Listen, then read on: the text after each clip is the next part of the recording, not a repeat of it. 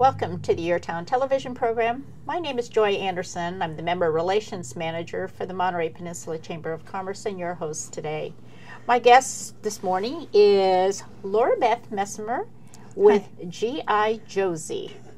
Exactly, yes. Welcome. Thank you so much. Oh, you're welcome. Um, G.I. Josie. Okay. What is what is GI Josie? GI Josie is um, we are going to be a transitional ranch community uh, specifically for female veterans who've been sexually assaulted while serving in the military.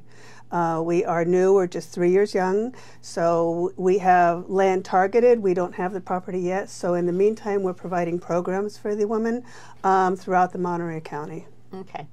So you're building on that and doing the programs at, at different locations, right, correct? Exactly. Okay. okay. Mm-hmm, mm-hmm. And so you're you're focused then uh, about creating this transitional ranch, right. basically, mm-hmm, mm-hmm. um, is to uh, focus on what? Uh, it's to fundraising allow too. Well, I mean, yeah. The ranch itself is is specifically designed to meet the needs of these women who have been assaulted while serving and and uh-huh. did not receive the care, the respect, the the need okay. um, needs to be met um, after their after their discharge. Okay. Um, we are going to be providing all the programs that we pr- we have now, with uh-huh. the exception of Blue Water Program. All the programs we provided on the ranch, 24 hours a day, so that when they get up in the middle of the night with their nightmares or their anxiety attacks uh-huh. or something like that, they can go dig in the garden or groom their horse or walk the dog or take a walk on the path. Um, everything's available to them when they need it. Okay. Yeah. And you're going to be providing um, that that that housing and that service not just for the women, but uh, if I understand correctly, for their children. Absolutely, yes. yes. Mm-hmm. Women's uh, women with children, single women. Most often, women who are married aren't going to need right. our services. So, a single woman uh, with their children, because we find in our research, we found that these these children are also suffering their traumas as they're watching their mom goes away as one person, comes back as another person, and now this this little person has to uh, accommodate what's mm-hmm. happening. And so we're providing all of the services to the women. We provide those mm-hmm. to their mm-hmm. children as well, so that they can heal together and, and grow together and, and become productive families together. Well, exactly, because if the women have been serving in the service and then they've been deployed or they've been away from their families, that's the last thing you want to do is keep right. them away from exactly. each other. Right. Exactly. Yeah. Mm-hmm. And there are no other programs right now that allow the children to come in and heal with their moms and, and work together side by side with their moms in order to move through these traumas mm-hmm. that they're both experiencing. Oh, well, they need each other. And they for, need each other. emotional Absolutely. support. Yeah. If, yeah. Mm-hmm. Any mom out there, any parent out there knows that if their child is hurting, they want to know what's going mm-hmm. on with their child, and they're going to treat that child first without treating themselves. Mm-hmm. And this way, they can work together and and and work through the program, uh, through the programs and their traumas together, so that they heal on they heal at the same time right. and can move on. Okay. So let, us go back to the um, the ranch, mm-hmm. basically. Yeah. Um, so I know you have an idea of where you want to be. Yes. Okay. Uh-huh. And so, what is it going to take to to get to that that point where you can start building onto this ranch well, or purchasing? The, yeah, mm-hmm. we have uh, we have a, a, piece of property targeted up in northern Monterey County, up in Pajaro, um, and we are looking for angel donors. We have one person that has stepped up. Uh, he doesn't want to be in it alone though, so we're looking mm-hmm. for a, other angel donors to go along so that we can we can purchase the property and we can begin. It's 100% raw land, so we have to start from scratch. Um, but we are shovel ready right now. If we were to have mm-hmm. the property today, we'd be shovel ready and be able to go. Okay, that's great. Mm-hmm. So you have a website? We have a website, gijosie.org. gijosie.org, and mm-hmm. on there will be the information and the contact information if we All have my folks co- that want right. to step mm-hmm. up and absolutely and appreciate it. It's it's just really high time that these women get the appreciation that they deserve. And so many of them are disregarded when they're when they're discharged and they don't get the services that they need. That's not to say that they're not being provided services by the VA but they need services when the VA can't provide them and mm-hmm. that's what we're doing is we're going in and we're filling that void Exactly. Yeah. Is there anything else in the country that's like this?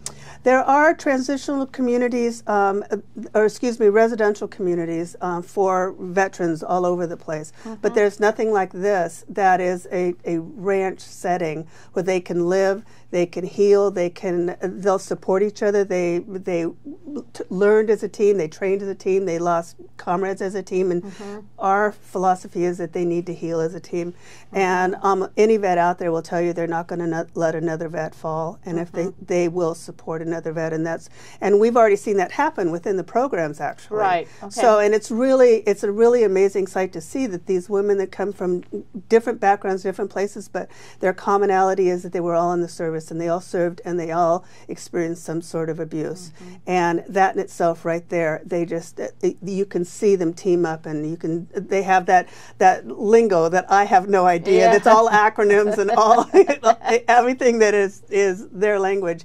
And it just um, and it just flows so easily. And so we have seen friendships formed and bonds made, and women helping women already. Give me a call if you need. I know you've got that problem. Mm-hmm. I'm I'm available for you. Give me a call. It's happening already, um, and the the ranch isn't even built yet. Right. So it's going to be an amazing amazing achievement. So to participate in these programs that you're mm-hmm. doing already, um, how how does one find out about it if well, we're right now. Uh, it's word of mouth. We have uh, we have uh, partnered with the VTC and the VRC, and the, and they're aware of the programs that we offer. And as well, there's a, a clinic down in Soquel on 41st Avenue that has actually referred uh, three women to us. Wow. So yeah, okay. so the word is getting out. And I just had actually a meeting with another woman on Friday who was just this was number three from that clinic um, because she said, I heard about you, was referred to you, and I really need to see what you can do to help me. So it is, and, and that's all it is, is slowly but surely people are going to realize mm-hmm. the benefits that we're bringing to these women wow. that they're not finding anywhere else. That's, that's fantastic. Mm-hmm. So let me ask you, what made you do this? What made you start this? I'm a mom, um, and my my daughter was in the Navy, and my daughter was assaulted, and and it we started looking into places where these women can go. And mm-hmm. I spoke with a with a gentleman who was a friend of mine, who at the time was a, a director at the Boston VA. He's no longer there. Um, but he said that there's a demographic that my daughter was in, and that's the highest demographic to not only be neglected at discharge, but to commit suicide within three years of discharge. Mm. And I just thought this is that's those statistics yeah, yeah. are not okay. Yeah, that, yeah, that doesn't work for me. That doesn't work for me. And so we started researching, and we we found that there was really no place for these wow. women to go, and mm-hmm. so we mm-hmm. decided to make a place where they can go. That's so, how it started. Just yeah, just over a cup of coffee, going, oh, "This is not right. We have mm-hmm. to make mm-hmm. change." Yeah. And so, so, what can we do? So what can we do? Right, and that's exactly how it started. And so and so we incorporated in 501c3 in November of 2014, and we've been the last three years setting all the you know set everything up and and we care for mom as well so we can't mm-hmm. it's not a full-time thing. We do it as much as we can while we have all these other responsibilities which is fine. But we've got to this point now where we've just set a new board. We had our board was uh, was out of the area, and there were we were seven people on our board that we that worked to help us generate what we have now. Uh-huh. And now we have a local board that's going to help us put put everything. Oh, that's great. Yeah, programs in Fantastic. place. Yeah, yeah. Mm-hmm. So we're really excited about that. Great group of people, and all of them have the same passion to make sure that these women are cared for. It's so wonderful. when you put on these programs, do you have do you get assistance from other agencies or organizations, or is this something strictly that GI Josie does? Um, I'm not quite sure what you mean. I mean, like. It, the programs. I'm not. Maybe I'm oh, not sure how the programs I, are. Okay, yeah. I understand what you're saying now. I beg pardon. Um, right now, this has been self-funded. We have had a few fundraisers that have been mm-hmm. really successful, and those have helped us keep things alive. Mm-hmm. But for the most part, we're self-funded. Okay. And so this year, now that we have the board set, this year we're going to step out and do more larger fundraisers. Um, grant writing. We now have a grant writer on staff, which okay. is amazing. So we're going to be able to to progress to the point where we can make sure that we get the land and get mm-hmm. these programs for these people.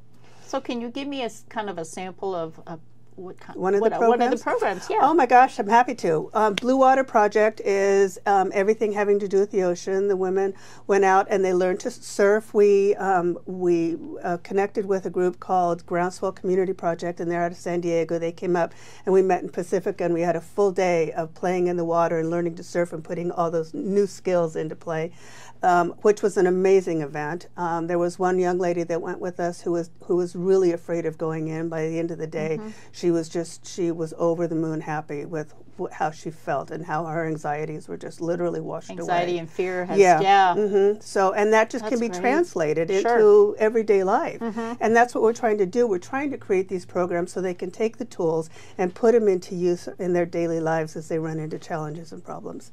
So the Blue Water Project, we just started right on with an, an author from Big Sur and she comes up and she's teaching the, teaching the women how to write their stories or how to put everything down on paper so they can create a book if they want to to. What they do with that book is totally up to them. Mm-hmm. We have Healing with Laughter, which is um, a, a, an improv. Um, I don't know if you know oh, Jacqueline. Jacqueline. Yeah. Mm-hmm. Um, and she has offered her time and her talent and her services. And so we had a wonderful healing with that just launched a couple of weeks ago. And it was improv. And we had a, a huge, a, a huge day of improv. And then she happens to live on a ranch and so the second half of it was playing with the horses and having mm-hmm. a good time. And that's another program is the equine project. So we can get right now it's on hiatus. There was a change of management at the at the ranch where we were working.